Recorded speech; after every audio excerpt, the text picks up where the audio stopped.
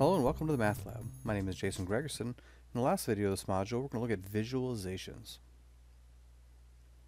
Specifically, we're going to take the command plot and do a little bit more with it. We've already seen once how to use the command plot to plot a function, but now we want to look at plotting multiple functions. We're also going to play with some options from the documentation center, and last, we're going to use the show command to combine our plots with other graphics. So we'll start by looking at more in depth at the plot command. So we've already seen the general form we'll have to plot some function. So here we can type in some function that we want to be plot. We have to identify what the variable is, and then over what range we'd like to plot that variable. So here we'll go from negative 2 to 2, for instance, and we'll have this plot.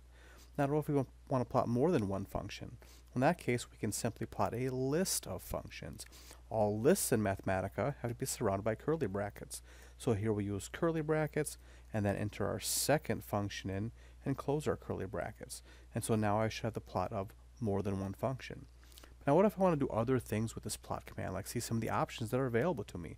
Well, once again, I can reference the help menu. So I'll put my cursor on the plot command, and I'll hit F1, and it'll bring up the documentation center for that command.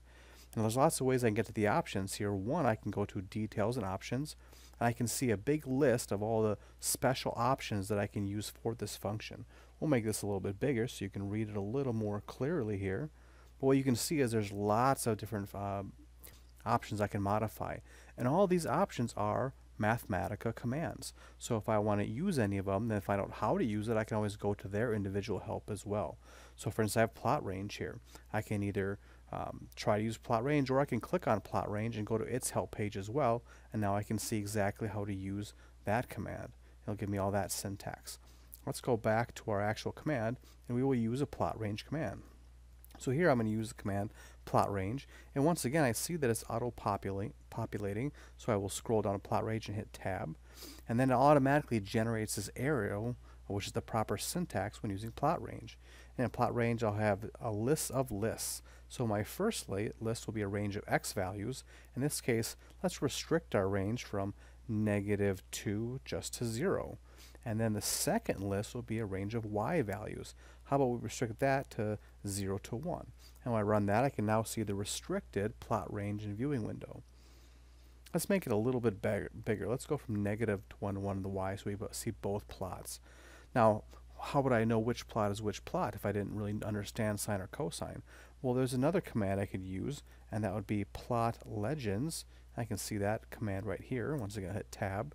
Once again, it's going to generate that arrow bar. But if for some reason I didn't have that arrow, I could generate that myself by simply hitting the subtraction sign and then hitting the greater than side and, and then hitting space. And that would generate one of those arrows if I needed it. Um, and now I could type in the command expressions. And this would have auto-populated if I had let it earlier as well. And now I'll run that, and it's automatically going to generate a, a legend for my plot. So those are just two specific useful options for plot. Now those are options you don't have to memorize once again. You simply go to the help menu for plot and you can see these two listed among the, the plethora of other options you can choose from for this command. Right, what if we want to plot not just two functions together, but two different objects together? So maybe take a plot of sine and then add some sort of point value to it or some arrow or some other graphic icon. Well, then I have to use the show command because the plot command is strictly for plotting functions. So here I have a graphics command, and this graphics will generate a picture of a point. So now I have a point plotted at 1, 2. And so if I also have a second object, which will be the plot, maybe the plot of sine of x, x goes from, well, let's say 0 to 2.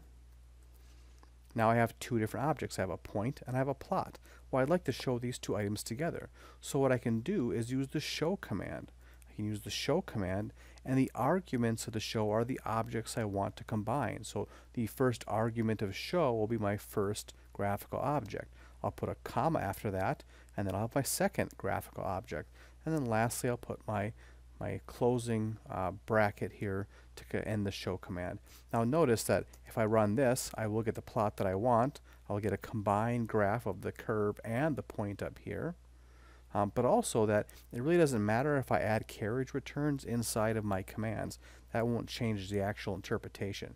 Character uh, or carriage returns are just really stylistic things to make your code look a little bit cleaner.